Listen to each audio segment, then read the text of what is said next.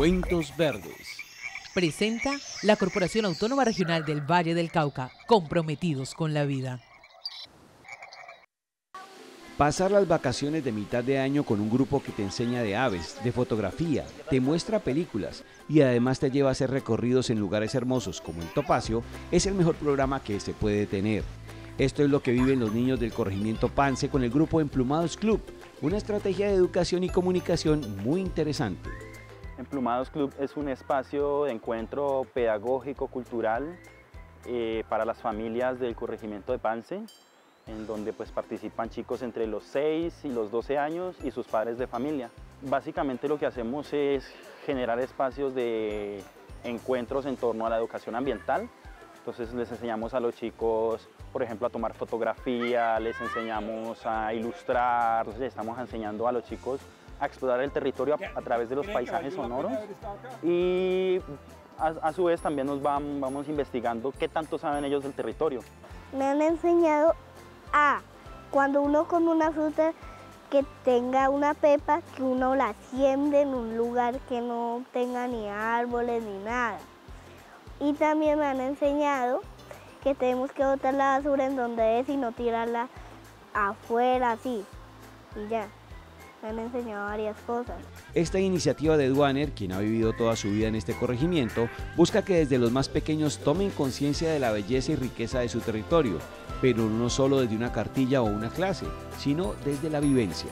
Bueno, primeramente pues aprenden a reconocer su territorio, digamos que empiezan a tener también esas otras alternativas que no tuvimos nosotros cuando fuimos chicos, de que nos enseñaran a, de aves, de que nos hicieran talleres pedagógicos enfocados en conocer los mamíferos y en conocer el territorio y, la función ecológica que cumple cada eh, ser dentro del territorio. ¿no?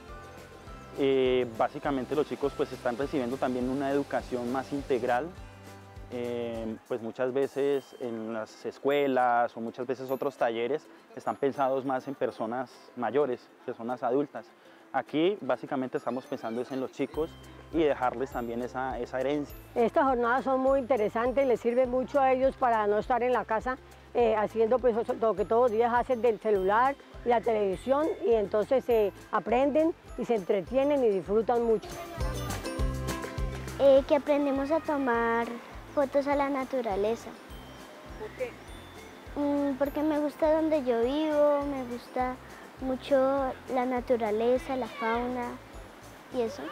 Para Aduaner y su club, mantener las tradiciones aprendidas de los más viejos y aprender a apreciar el entorno mediante diferentes estrategias es también apropiarse de él para protegerlo y conservarlo.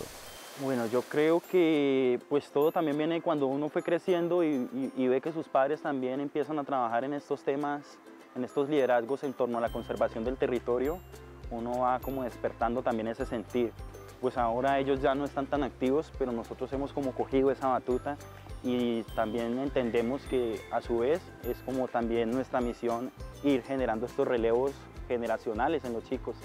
Entonces eso es básicamente lo que nos motiva. Cuidar y proteger mediante la educación ambiental es algo que como Duaner debemos implementar para conservar nuestro Valle de los Sueños.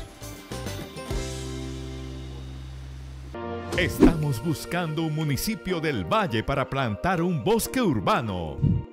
Alcaldes, alcaldesas. Ingresen a la página web de la CBC y postulen tres predios que puedan convertirse en un nuevo pulmón verde para el mundo. Allí también sembraremos el árbol 8 millones del programa Valle Más Verde. Juntos lo estamos logrando y su municipio también puede unirse. La convocatoria Bosques Urbanos para cambiar de la CBC se cierra el 31 de agosto. CBC, comprometidos con la vida y ahora más cerca de la gente.